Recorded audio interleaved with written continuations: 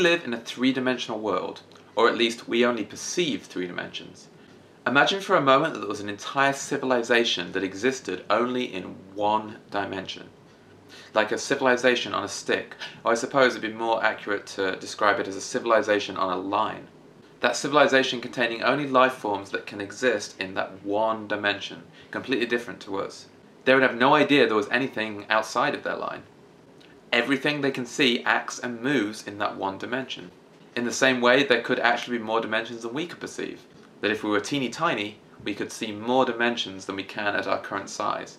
But for our purposes, we're going to deal with the dimensions we can see, and we can see that there are three spatial dimensions. Because string theory is incredibly complicated, and frankly it's complicated enough just to understand the world in three dimensions. Because of this complexity, in physics we like to start in one dimension and work our way up from that. So if we just look at, say, a ball falling in that one dimension, if we can understand that motion, then when we look at more complicated situations in two dimensions and then ultimately in three dimensions, we can apply some of the same ideas to those. So we're going to look at motion in one dimension. But first of all, what is motion? Are you moving? right now? How do you know? Well, you're probably twitching and moving your eyeballs around the screen a little bit. And maybe you're multitasking and texting at the same time, although if you are, stop that! You're supposed to be learning right now. But let's assume you could keep perfectly still, all the way down to your molecules. You could just keep everything completely still. Are you, as a whole, moving? Well, right now the Earth is spinning, and right here in Anne Arundel County, Maryland, I'm moving at 770 miles an hour because of the Earth spinning. Approximately that way. Maybe I should check this. Yes, it's that way. So I'm moving 770 miles per hour that way. But more than that, the Earth is moving around the Sun. At this time of day, that means I'm moving at approximately 66,000 miles per hour, slightly west of south and a little downwards. But if we're going to get this right, we've got to go further. The solar system as a whole is moving at 43,000 miles per hour, approximately in the direction of the constellation Hercules. The solar system is just drifting towards other stars. But not only is it doing that drifting, but it's also zooming around the galaxy, orbiting the galactic center. And that's approximately 483,000 miles an hour, this time in the direction of the Cygnus constellation. And then one more step, the Milky Way, the whole galaxy, is also moving at 1.3 million miles per hour, this time in the direction of Leo and Virgo from our point of view. So if you're really moving at 1.3 million miles per hour, why can't you tell? I'll let you have a think about that, we'll come back to it later. This video is mostly about graphing. Before we start, I want you to put your right hand on your heart and raise your left hand. Do it right now. Everybody do it. Okay. Repeat after me. Graphs are important. Graphs are not boring. Graphs are important. Graphs are not boring. The reason I asked you to do that is that this is one of the topics that people tend to find dullest when they're studying physics. It can be quite tedious, but it's also vitally important. Graphs are how we visualize the world, how we contextualize things and they're used in every area of physics just based on the same principles. If I show you this data, what does it mean to you? Probably very little, but if I arrange it in this graph, suddenly everything becomes clear. As you may know from math class, graphs have equations that go with them. These are equations of straight lines. These are equations of curves. These are more complex equations. In physics, we use equations to describe the world around us. And one way we can discover these equations in the first place is by drawing graphs from our data. For example, in 1826, Georg Ohm did an experiment with a circuit where he measured the current and voltage around a circuit for different lengths and thicknesses of wire. He plotted his results and discovered that voltage correlates with current in a nice, neat straight line. From math class, an equation of a line is y equals mx plus c, where m is the gradient and c is the y-intercept. In this case, v equals ir. There's no plus c kind of section to this graph because in this case it goes through the origin. The y-intercept is 0. The c part is 0. But he found that if he plotted v against i, that it has a gradient r, which is the resistance of the material. And this equation is so important that basically every physics student has learned it for the last 100 years. So, back to graphs. First of all, we need something to graph. In 1D motion, there are three things that we tend to graph displacement, otherwise known as position, velocity, and acceleration. And we like to look at how these things change over time, so we're going to plot them against time. How does your displacement from your origin change over a period of time? How does your velocity change? How does your acceleration change, or does it stay the same? These are the questions that we answer by plotting these graphs. If you don't know what acceleration is, don't worry, we'll talk about it shortly. So we draw graphs to describe those changes in displacement, velocity and acceleration over a period of time. And later we can do some calculations with those graphs. This graph shows a car speeding up from a stoplight and then continuing at a nice constant velocity. It doesn't start at the origin, meaning that the origin must be 4 meters behind the stoplight. That origin is arbitrary, you could pick any position for your origin, so you could draw the graph like this, this would be fine too. If we were to draw a velocity time graph of this motion, it would look like this. The car starts off not moving at all, and then it gradually speeds up until it reaches a constant speed, uh, like a cruising speed after the stoplight. Now converting this to an acceleration graph is a little bit harder. Acceleration tells you the rate at which your velocity is changing. So if you're moving at a constant 5 miles per hour on your bike, then your velocity isn't changing, so your acceleration is zero. But if you hit your brakes hard, you'll have a big acceleration all of a sudden. In physics, acceleration doesn't just mean speeding up, it also means slowing down. So when you slow down, when you brake on your bike, in physics they would say you're accelerating. You accelerate any time your velocity changes. It's the thing you feel when you're in the car. And acceleration is the answer to the question I posed earlier. Why don't you feel like you're moving at 1.3 million miles per hour?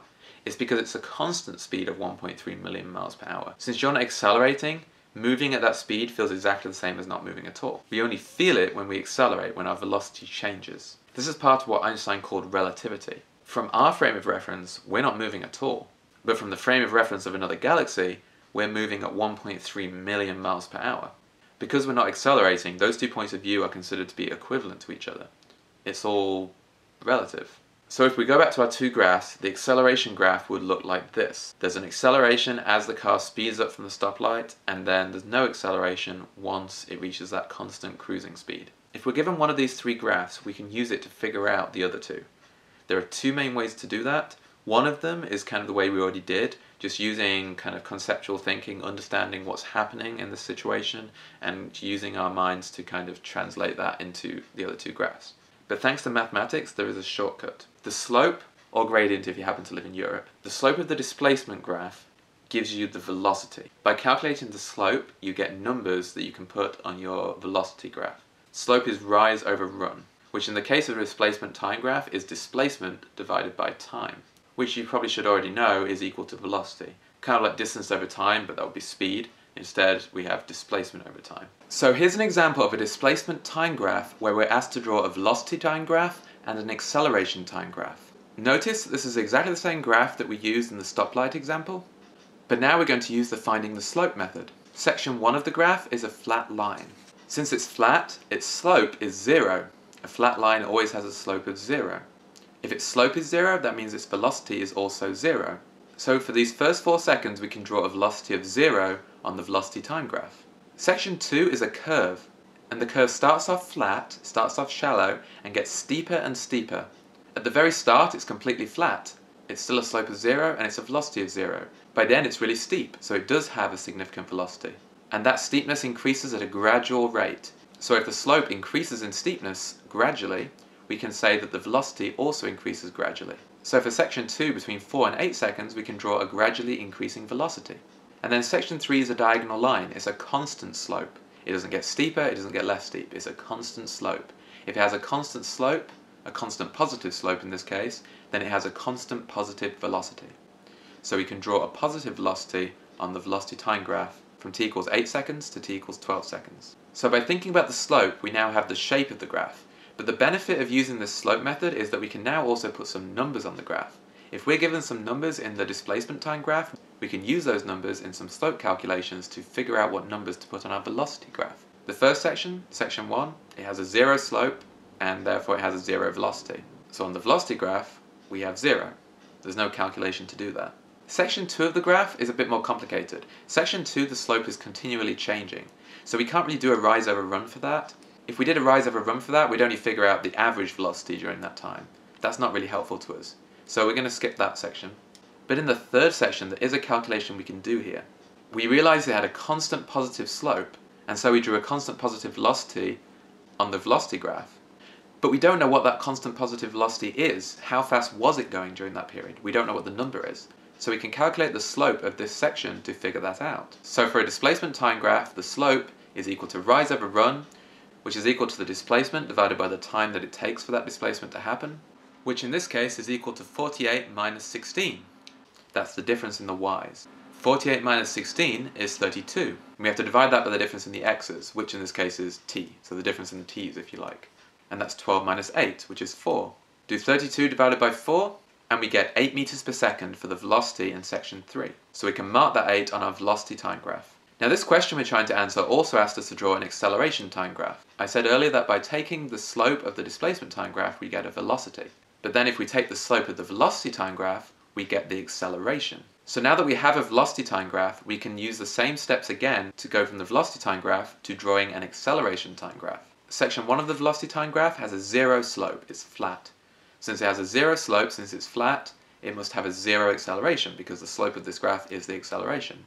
So we can draw on our acceleration graph an acceleration of zero during section 1.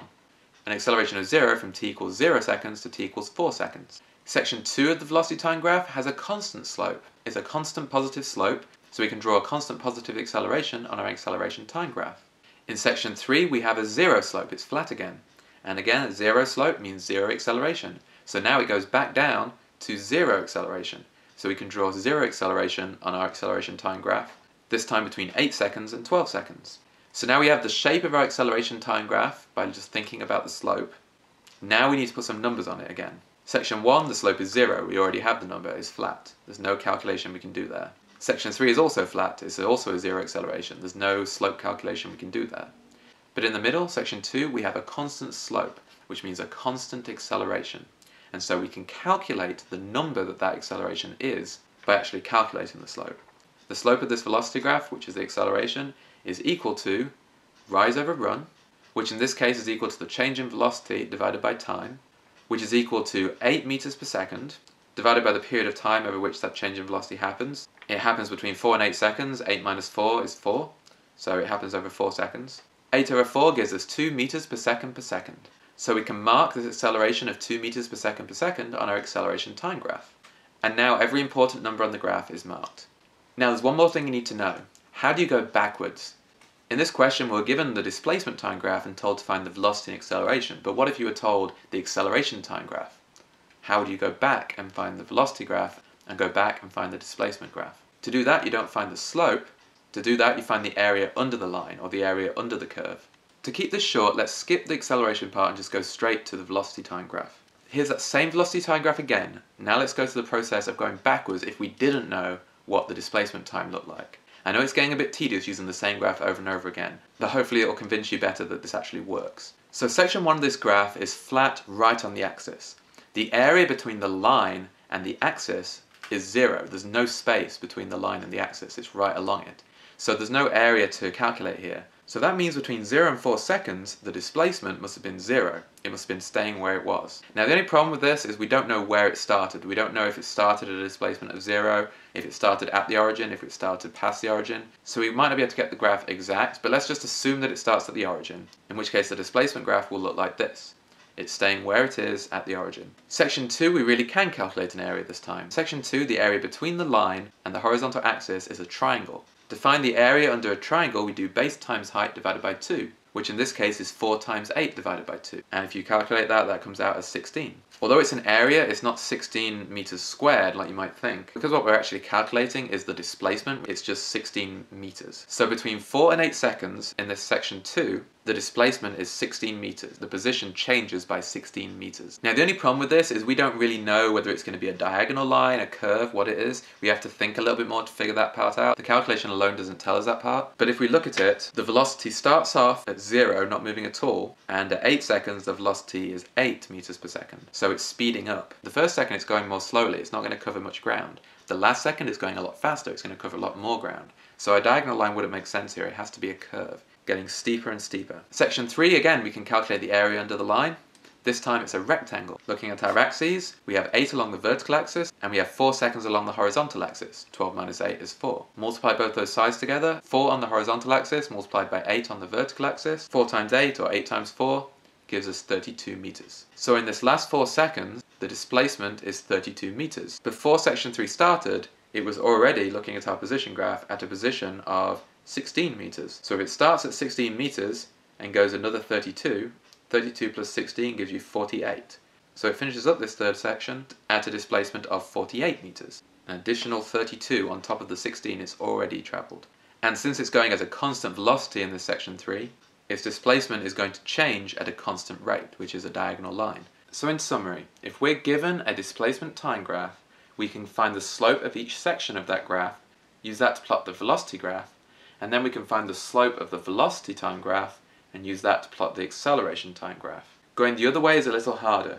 We can still use the slope concept and a little bit of thinking to get the shape of the previous graph, but we'll have to find the area under the graph to figure out the numbers to go on the previous graph. So thanks for watching, I hope that wasn't too dull and boring, but it is very important information that's going to help you as you move on to more interesting topics. Don't forget to leave a comment with your questions, thoughts and suggestions. Until next time, keep questioning, and Spark is always reliable. Screw you, lizard.